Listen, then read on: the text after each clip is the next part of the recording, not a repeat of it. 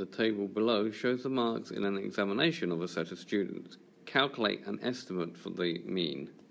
So here we've got some data. So the marks have been grouped between 0 and 9, 10 and 19, 20 and 29, 30 and 39, 40 and 39, and the frequencies of these is 2, 7, 11, 12, 2.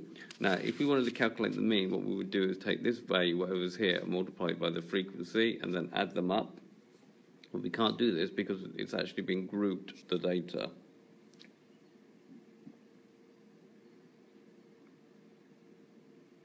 So we have to make an estimate of the mean. So we need a value that's going to represent 0 and nine, between 0 and 9.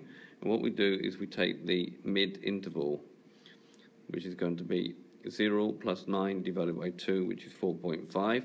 And then we do the same for the next one, which is 10 plus 19 divided by 2. And then we do the same for all the other all the other intervals.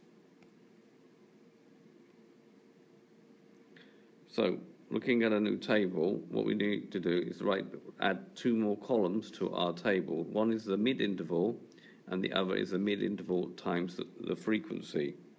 So the mid-intervals here are going to be 4.5, which is 0 plus 9 divided by 2.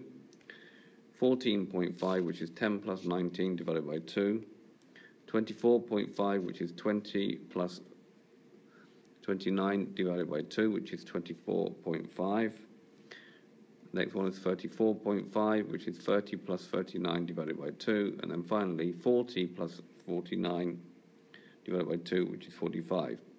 And then what we do is we calculate the mid-interval times the frequency. So we do 4.5 times 2, which gives me 9, 14.5 times 7, which gives me 101.5, 24.5 times 11, which gives me 269.5, and then 34.5 times 12,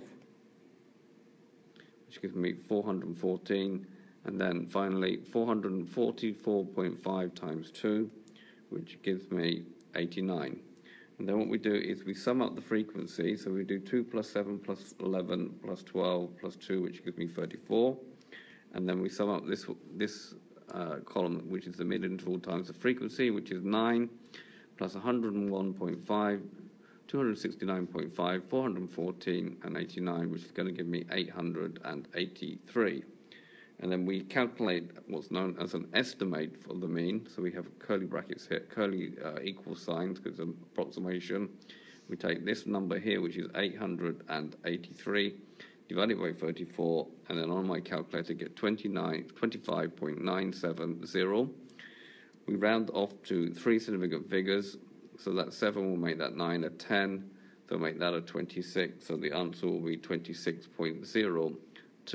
26.023 significant figures. So what we've done here is we found an estimate of the mean using a frequency table.